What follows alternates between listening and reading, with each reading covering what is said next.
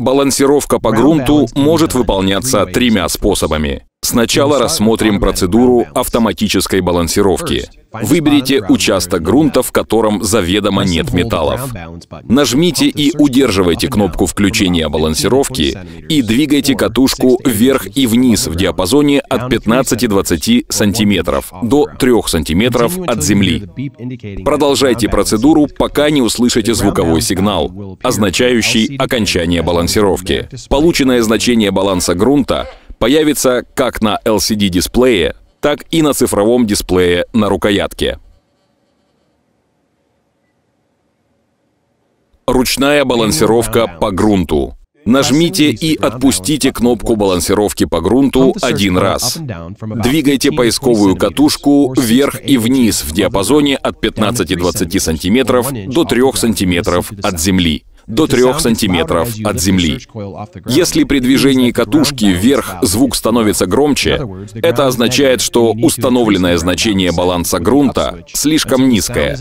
При этом необходимо увеличить баланс грунта, используя кнопку вверх, пока звук не исчезнет или не станет очень слабым. Если сигнал исчезает не полностью, вы можете выполнить точную подстройку с помощью кнопки «плюс».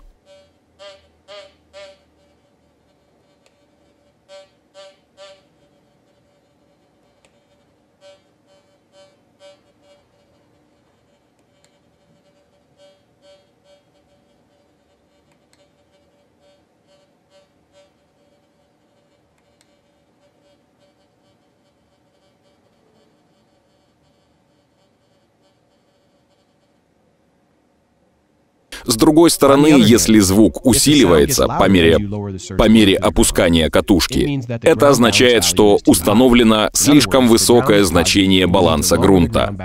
Иными словами, при положительном эффекте от грунта необходимо уменьшить значение баланса с помощью кнопки «Вниз». Если сигнал исчезает не полностью, выполните точную подстройку с помощью кнопки «минус».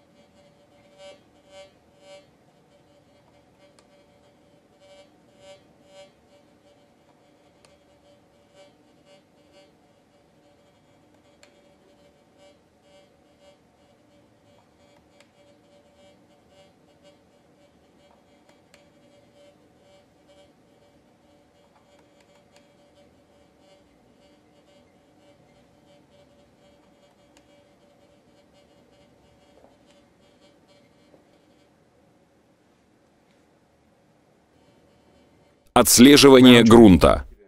Для получения лучших результатов в режиме основного поиска мы рекомендуем использовать функцию отслеживания грунта или трекинг. При использовании функции трекинга вам не требуется выполнять никаких дополнительных настроек. Для активации функции просто установите соответствующий выключатель в положение «включено». Теперь при движении поисковой катушки металлоискатель будет постоянно подстраивать баланс грунта. Когда режим трекинга активен, металлоискатель может подавать громкие звуковые сигналы при изменении грунтовых условий, например, при обнаружении горячих камней. В этом случае несколько раз проведите поисковую катушку над местом, где услышали такой сигнал. После этого сигнал должен исчезнуть. Однако при обнаружении металлов звуковой сигнал не меняется и не затихает.